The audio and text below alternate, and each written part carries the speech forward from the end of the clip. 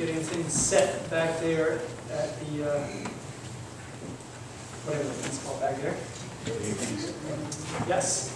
Keep your Bibles open to Ephesians chapter 4.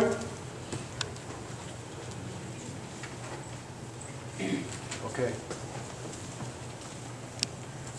I want you to look at these verses uh, closely. Let's go to Ephesians chapter 4, what Gary just read, starting with verse 13. Until we all come to the unity of the faith and of the knowledge of the Son of God. To what? To a perfect man. What do you think that word perfect there means? Mature. Mature. What's the difference between a child and an adult? Maturity, right? So he's going to tell us not to be children no longer, but we need to be mature. And we need to be mature in our faith and in our walk with Jesus Christ. And this word perfect, mature, is what the goal, the ideal for Christians to be. Listen, do you remember when you first became a child of Jesus Christ? Do you remember when you were first converted? If it was a long time ago, are you still that same person? If it was just recent, are you still that same person? Has there been any growth in your walk with Christ? Isn't that what we're called to in a relationship with Jesus Christ? When, when the son, in the story of the prodigal son, when he came out of the pig pen and he went back to his father's house, why in the first place did he go back to his father's house? The Bible says that he did what? There's something he did. He came to his what? Senses. So he realized that where he was at was not a good place and was not where he was supposed to be. And then he realized that his father's house was a much better place to be, and he went back there, right? When he came to his father, what was the father's reaction? The father ran to him. Listen, says that when he was a long way off, the father ran to him. Which is telling you that the father was looking. Right? Looking. And when he saw, he ran to him. So when the father ran to him, did he go, Son, I'm so glad you're home? And then say, But you need to leave. What does it say he did? When the father saw him, he ran to him and fell on his neck and hugged him and held him. And then he put a robe on him. Why? Because he just came from the pig pen. And as far as I know, they didn't have a quart of laundry back, back then. So he came home fresh from the pig pen. Okay? So when he saw his father, his father put on a new robe on him and did what? Shoes on his feet and a ring on his finger. Signet ring. So listen, after he did all this, did the son go, thanks father, we'll have the feast now, but then I'm going back because I can pawn this ring and I can pawn this robe and I can go back to living the lifestyle that I was in. No, right? Of course not. I like that. Of course not. Why is it of course not? Because he went back into his father's presence and he realized where he belonged and who really loved him. He was out living the life that he wanted, did he come to the point of realization that these people don't love me? Nor do they care about me? He had friends when he had money, right? But what happened when that money ran out? So did his friends. Where did he find himself? A good Jewish boy in the middle of a pig pen. Isn't there something ironic about that? When you take the idea of that story to what it says in this text, I want you to think about what God is calling us to. And when we have given our lives to Him, what He calls us for. And what's our purpose now. Because when you are in this world, you live for the world. But Christ called you into a much, much higher and better position and a better place. But does he just walk away after the initial call? Or does he have a purpose and a plan for you? Let's go back to our texts. till we all come. How many?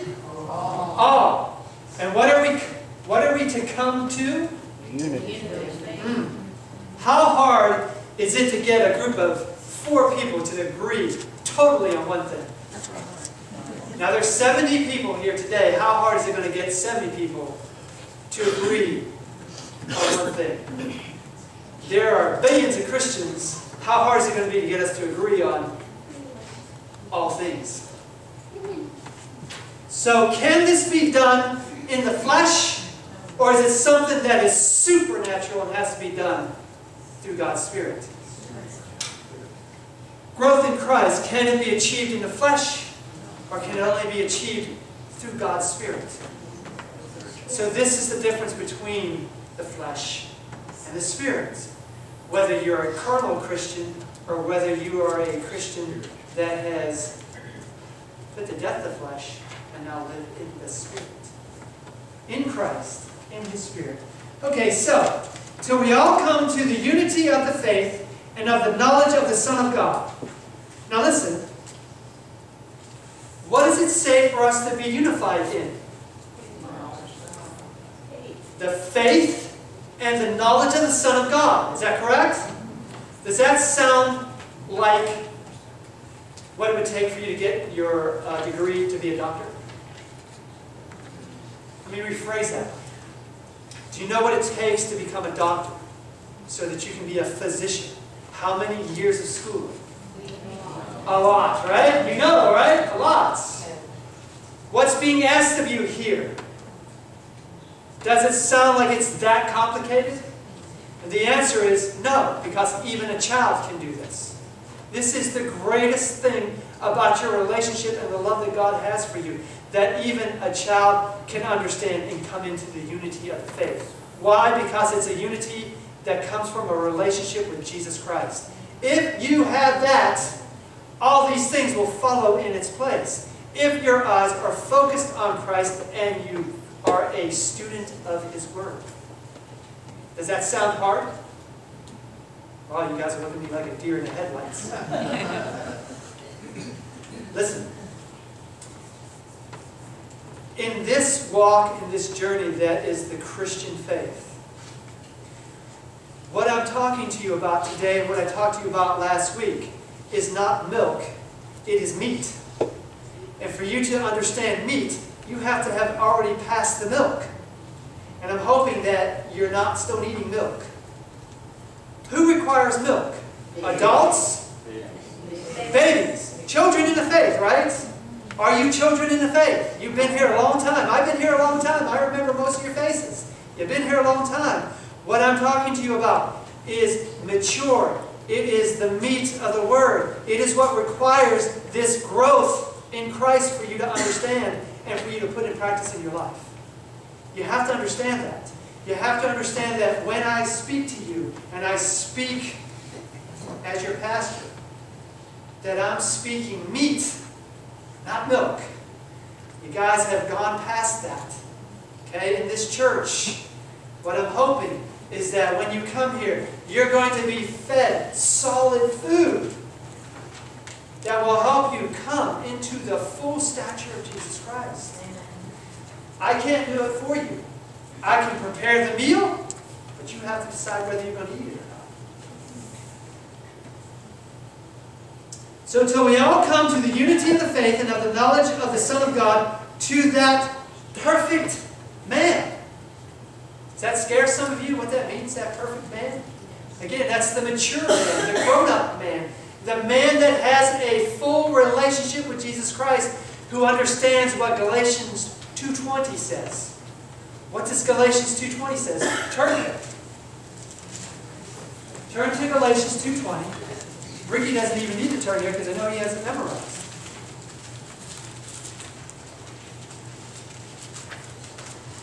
Galatians 2.20. Carl, do you have that? Yes. Can you read it for me? I am crucified with Christ. Nevertheless I live. Yet not I, but Christ liveth in me. In the life which I now live in the flesh, I live by the faith of the Son of God, who loved me and gave himself for me. Is that milk or is that meat? meat? That's meat. This is where we as God's people need to be. How do we experience and live being crucified with Christ, but yet I live? Yet it's no longer I who live, but it's Christ who lives in me. I can only do that if I grow up on His Word, experience His Word, and know Him like I know Rosa. And that Jesus is just as real to me as Rosa is today.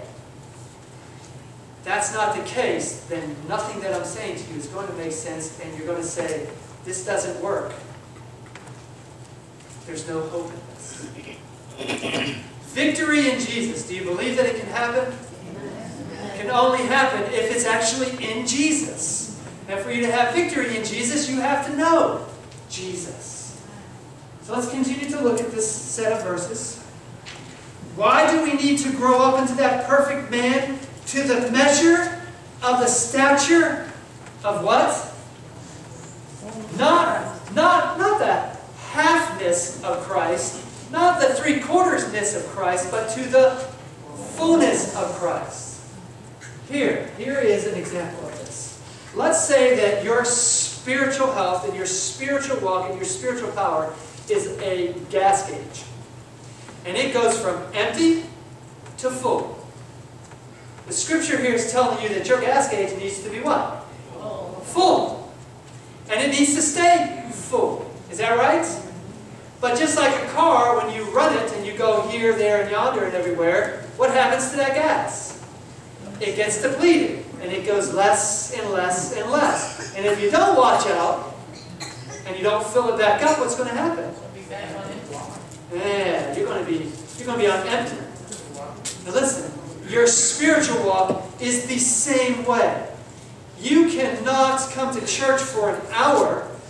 Well, you're an Adventist, so say two hours, three hours. Sometimes your pastor's long-winded. You cannot come to church one day out of the week for a couple of hours and expect that to fill your spiritual tank. I can't do that for you. The Sabbath school teacher can't do that for you. You have to be in charge of your spiritual walk. You have six other days that you have to feed yourself. If you're only getting fed one day, you'll be lucky if your tank is on a quarter. That's a lot of empty space, isn't it? If you want to grow into the fullness, into the full stature, the fullness of Christ, it needs to be full, and it needs to stay full. If you want victory in your life, your spiritual gas gauge needs to stay full. Is that right? The problem is, is with our lives in the 21st century, is we are so busy, we have so much responsibilities and so much stuff to do, that our gas gauges are usually quarter, maybe halfway, usually between quarter and empty.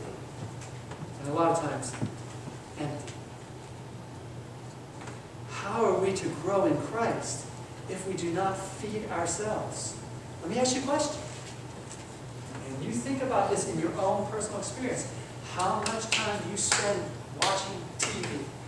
How much time do you spend reading books that will not strengthen the spiritual man? And how much time do you spend filling your spiritual gas tank up so that it will be full, so that you can grow in Christ? Only you know that answer. You figure it out. You figure out where your gas gauge is at. That's going to show you where you're walking with Jesus Christ. It's going to show you whether He is your God or if you're worshiping idols.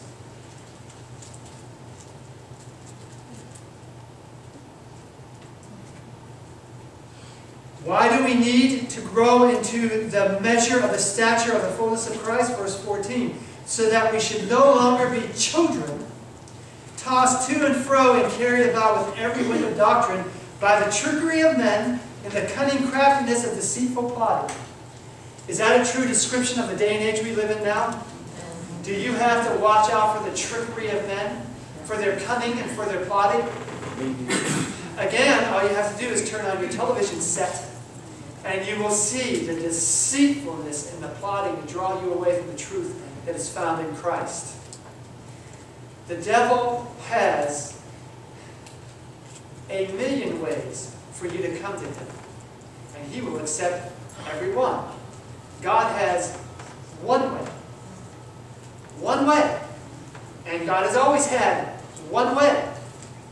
And we are now called narrow-minded, bigoted, because we believe in the one way. And as long as God gives me strength and the Spirit continues to live inside of me, I pray that I never walk away from that one way. Because Jesus said plainly, I am the way, the truth, and the life. No man comes to the Father, what? Except by me. Is that milk or is that meat? You have to be grounded in that and understand why we as Christians have to hold true to that and say that with a clear and clean conscience. When the world says, oh, there's many ways to God. There is one way. And the reason why Jesus is that one way is because he's the only one who paid the debt for your sin. He is the only one who brought reconciliation between fallen man and a righteous and holy God. Everything else will not bring the righteousness that God requires for you to stand in His presence and in His sight. Holy and just. Amen? Amen. Okay, so continue to read on. Verse 15, but speaking the truth, here's our problem. Speaking the truth. We look and go, what is the truth? Like Pilate when he interviewed Jesus. What was Pilate's reaction to Jesus? Pilate said, What is truth? Why did he say that? Because Pilate was a man of the world, and Pilate understood the craftiness, the trickery, and the deceitfulness of the wisdom of the world. Look, brothers and sisters, not only do we wrestle with the wisdom of the world, but we also wrestle with the deceitfulness that's within the churches. Is that right? Amen. And we have one Bible that they all read and come to this conclusion and that conclusion and this conclusion and that conclusion. So you have all these denominations all saying something different but getting it from one book. And we're to come into unity of the truth. What is the truth? And how do you possibly come to find out what it is? Nobody? Only through the Only Holy in Spirit. Christ. Okay, hold on. Linda? Only through the Holy Spirit. Okay. Through Christ. The Bible says that the Spirit will bring you into all truth. Is that right? Ricky, what did you say? Only in Christ. In Christ. I like that. Dan? You gotta read the Bible. You got to read the Bible. Gary? There's a little paragraph or a few sentences that pertain to this. Can you stand up and read it loud? Try.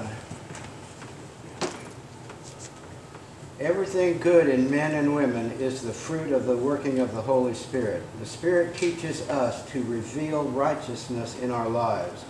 And here, the greatest work that can be done in our world is to glorify God by the living character of Christ. God, this is the key here, God will make perfect only those who will die to self. Amen. Those who are willing to do this can say, I live, yet not I, but Christ liveth in me. Amen. Let me ask you a question. Is there truth in mathematics? Yes. Is there truth in mathematics? Yes.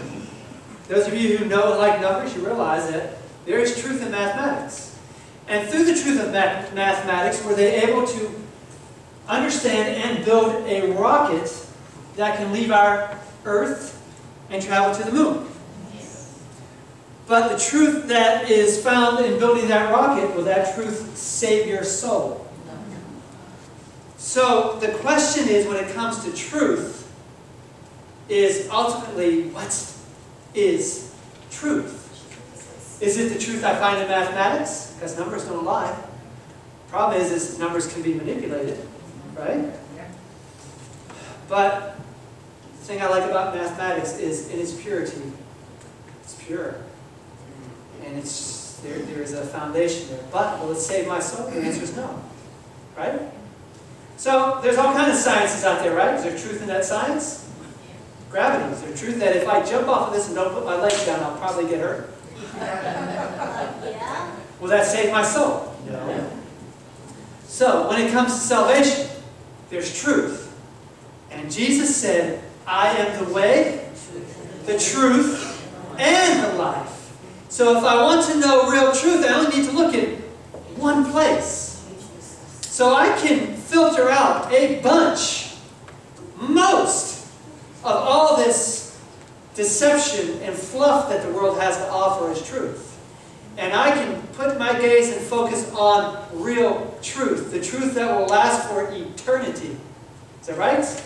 And that truth is in Jesus. How do I get to know Jesus? By the Word He has given us. And through the understanding of His Word, by the influence of the Holy Spirit, then I can come to truth. Does that make sense to you guys? But if I take this book and I only open it up one day a week, and maybe not even then, and then I go home and not look at it until I come back that one day,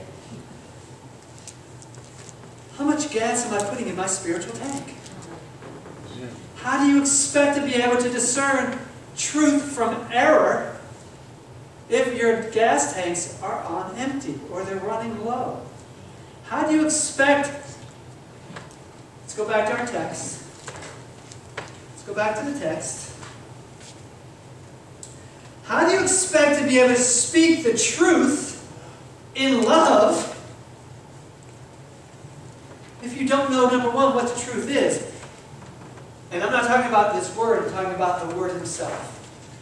How do you expect to talk about and speak about and preach about the truth in love, that is Jesus Christ, if you don't have a relationship with him? How do you expect to speak anything in love if your spiritual love tank, like your spiritual gas tank, is on empty? It too has to be full. For you cannot give love unless you're filled with love. And you cannot be filled with love unless you know love. And that love, again, is Jesus Christ. None of this is profitable. None of this will work unless it is grounded and built firmly on the foundation of Jesus Christ. Speaking the truth in love, that we may grow up in all things into Him, who is head, that is Christ. Now listen, in these sets of verses, he continues to show the difference between children and grown-ups. That we're no longer to be children tossed to and fro. That we need to grow up into the fullness, the fullness of Christ. And that we need to continue to grow so that we can speak the truth in love. So is Christian spiritual growth important? Is it a requirement? That's what you need to realize. It's not just important, it is a requirement of all those who name the name of Christ. Christ did not tell us, Come to me, all you who labor and are heavy laden, and I will give you rest, and you never have to wake up and do anything again. What he says is, Come to me, and I will give you rest, and I will allow you to grow in me. So that it's no longer you trying to strive in your own power, but it'll be you resting in my power, and I will use my power in your weakness to show the world that I do. Amen? Does that sound like good news? Does that sound like it's something that you can actually achieve and it's doable? That, brothers and sisters, is the faith of Jesus. Now, again, I'm not giving you milk, I'm giving you meat. When you understand the faith of Jesus, you realize that having faith in Jesus and the faith of Jesus go hand in hand. And when you grow up into Christ and you become mature in this knowledge, you realize that they're one and the same. But like I told you last week, the problem with the churches today is that they're preaching faith in Jesus, and that's it. Where there's no growth, no victory, no maturity in Christ. So we have been called to preach and teach the truth as it's found in Christ, the faith of Jesus, to prepare people who are able to stand in His presence in their flesh when He comes back. Have you ever thought about what it's going to be like to see Jesus coming in the clouds of glory? In His divinity? Turn with me to Revelation chapter 3.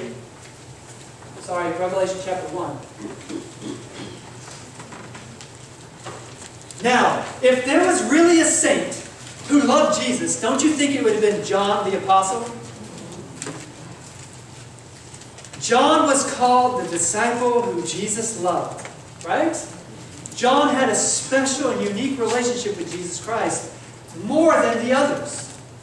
And John, in his old age, banished to the island of Patmos because they couldn't kill this poor old man. They didn't know what to do with him, so they said, well, let's put him in salt mines, and that way he'll lose his influence. God is a great God. And he probably wrote the greatest book that's contained for the last days. That's the book of Revelation. But I want you to see John's reaction. Did John know Jesus? Did John see Jesus in his flesh? Did John see Jesus on the Mount of Transfiguration? Yes. Now, I want you to see John's reaction when he sees Jesus in his full divine presence. Here in Revelation chapter 1. Excuse me, I didn't turn there because I was busy talking. This is why I never finish sermons. But that's why there's always part 2 and part 3 and part 5. Okay, so. Let's start with, um, start with verse 5. From Jesus Christ, the faithful witness, the firstborn from the dead, and the ruler over the kings of the earth, to him who loved us and was and washed us from our sins in his own blood, he has made us, don't you love this? What has he made us? Kings and priests to his God and Father. To him be glory, to him be dominion, forever and ever. Amen. Behold, he is coming with what? And every eye will see him, even they who pierced him, and all the tribes of the earth will what? They'll mourn because of him. So, is this speaking of history in the past, or is this speaking of history in the future? Is this speaking of those who will be alive in the last days at his second coming? And what does it say? Every eye will see him, and he will come in the clouds. What is that? We call that the second coming. Is that right? When he comes this time, he's not going to be clothed in humanity. He's not going to be a helpless babe lying in a manger. Now I want you to see John's reaction as we continue to read on to this. Let's go to verse 8. Jesus' words, if you have the Bible that's in red, he goes, I am the Omega, the, o, the Alpha and the Omega. That's the A to the Z. He's the beginning and the end, says the Lord, who is and who was and who is to come, the Almighty. Verse 9, I, John, both your brother and companion in the tribulation, in the kingdom, in the patience of Jesus Christ, was on the island that is called Patmos for the word of God and for the testimony of Jesus Christ. Verse 10, I was in the Spirit on the Lord's day, and I heard behind me a loud voice. As of what? Who was this voice that he heard? This was the voice of Jesus himself. Have you ever heard how loud a trumpet can be? Those of you who play the trumpet, think of how high that note can be ear piercing. Why do you think they blew trumpets before the battle and in the battle? Because they could hear the trumpet over the sound of the battle. That's how loud it is. This was the voice of Christ, and his voice was as loud as a trumpet, and he didn't need a microphone.